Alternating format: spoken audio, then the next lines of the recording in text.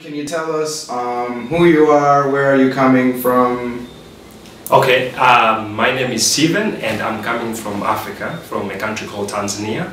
And I came to Venezuela in October last year and I am here to do my internship. My internship involves teaching English in a place called Alpha and I'm going to be in Venezuela for one year and I've been here for three months so far.